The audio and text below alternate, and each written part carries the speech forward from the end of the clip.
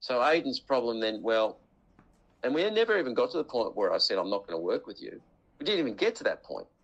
He just assumed that, so he's going to try and beat me another way, and that is discredit me. That Druery worked with Fiona Patten. Yeah, I did. To stop you, you little. Hmm. Druery worked with Rod Barton. I did. Animal justice. Yes. I had to elect Andy Meddick. That was part of the deal. The CFMEU came to me, who at the time, this time four years ago, was the biggest financial contributor to the ALP. And I know them. I know the executives there.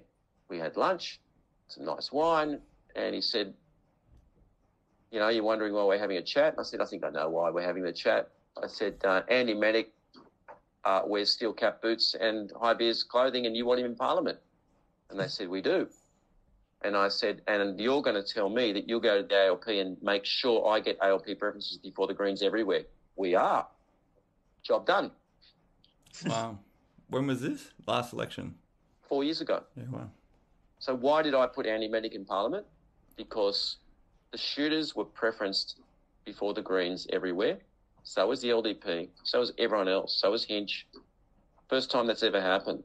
Everything has a cost. I had to put Andy there to get what I needed. Nine people were elected. Wow. That's how it's done. And yep, Right. I put Andy there. I put Rod there. Also put the shooters and Hinch. All of them. That's what Aiden doesn't understand.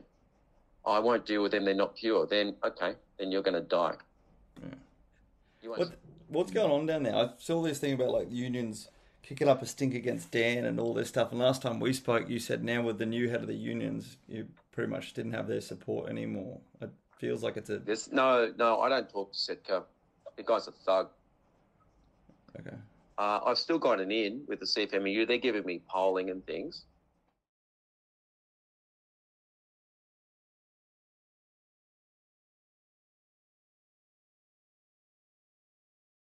So let me tell you about Sackdan Andrews. And I'm bringing you into confidence here. It's one of mine. And it was a, it was conceived when Aiden I, I, I predicted what would happen with Aiden months ago. So you've got to put something in place, you know, to defend yourself and then attack. And that's what I did. I looked all over their social media. I could have called it the Pro Jet Trails Party. I could have called it the Port Arthur Conspiracy. I could have called it the Wacko Crazy Lunatics Party, but I didn't. Every other post was sack Dan Andrews, sack Dan Andrews, sack Dan Andrews. Ha ha. Hmm. We're going to form the sack Dan Andrews Party. We did. We, we, me, and my allies. That's been formed because if that gets a decent draw, it's going to completely usurp Clive, One Nation, and poor little Aiden. Little itty bitty Aiden. He's not smart. You know what that is? Is this the red shirt saga, is it? That's a red shirt that, that I got. Oh god. Go swimming in that one. so I'm going to wear that when I'm doing the now? when I'm doing the GVTs. I'll be wearing that, and another shirt that the Greens produced last time as a fundraiser to stop me. It says, "Don't blame me. I voted below the line." Okay. hmm So Sackdan is in my crew. Uh, Um, and again, that was initially conceived to counteract the problem of Aiden. Aiden thinks it's it's you know another cooker party, which is great. Information warfare, mate. yeah, wow.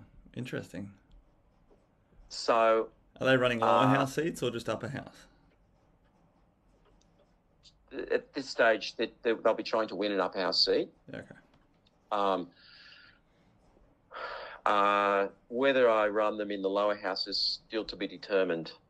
Um, Okay. yeah, we're st- still discussing that.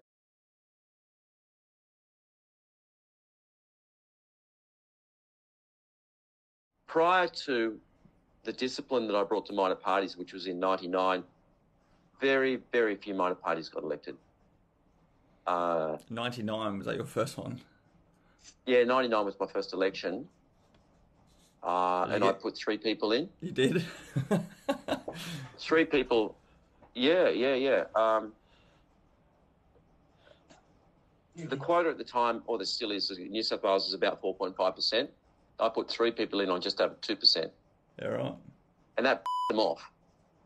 That really them off, and they changed the rules within six months. That was that was one guy at the time was elected on the smallest primary vote in history, Australian history, was 0.2%. I've since smashed that record. So that was 99, and, and you know, there's just been countless, countless elections since then. I've forgotten how many people have been elected. Yeah. Back in 99, when I was up to, the, I think the last party I formed, uh, the, the way I formed parties back then, you only needed 200 names. I had volunteers with me, and we would go out in the streets in Sydney. And I put up a sign that said, Stop Pauline Hanson sign here, stop Fred Nile sign here. And I'd go to lefty areas, and I couldn't beat people off with a stick. so I was forming one party every weekend toward the end. Um, they were the house in days.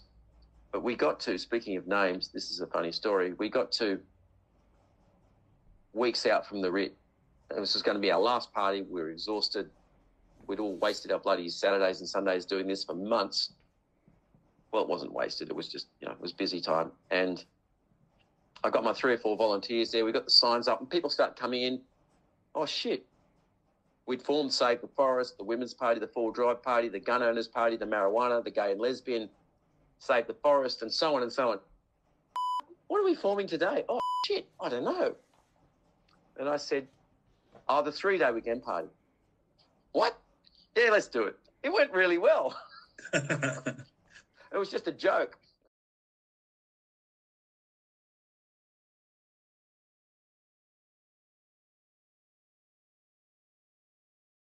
Noms open, I think, on Thursday, from Mhm. memory.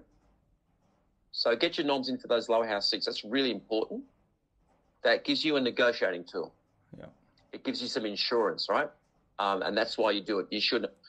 What I say to minor parties is, is, and here's another mistake Aiden's making. We're going to run in at least 35 seats, hopefully every seat. Why? We're guerrilla fighters. We fight on our terms, not the enemy's. If we go out there and try and fight an imperial power on the field, we're going to lose. We've got to chip, chip and retreat and attack and attack and off. We've got to fight like the Viet Cong against the Yanks, right? Not on their terms, because Yeah. they will beat us every time. They've got resources and paid consultants and all this shit, which you, we, minor parties don't have. So, my advice to you guys and to minor parties is the lower house is only there as a negotiating tool to get you what you want in the upper house. Yeah. You've got to be really smart about this. Focus this rifled approach. And and if we run in these these hot seats, the ones that I told you, they're the hot seats of the ALP. Um, don't run in safe seats just because you've got a member who lives in Dandenong. "Oh, I want to run here to help you. It's not helping you. Yeah. It's creating a little administrative problem for you. Someone's got to deal with it. It's energy expended that you don't need to expend. Stay focused on the mission. The mission is get preferences in the upper house. How do we do that? We leverage. Yeah. So those seats are where you can leverage. Focus on those seats. Run there. Uh, uh, if we need to negotiate with the ALP, I can either you can do it yourself. I can do it on your behalf. Um, but you've got something to deal with. hmm So it's really, really important that you get candidates in those region, those seats. Yeah. And don't worry, unless you want to create work for yourself, that party member who lives up in the Mallee and wants to run to help you, why? It's not going to help.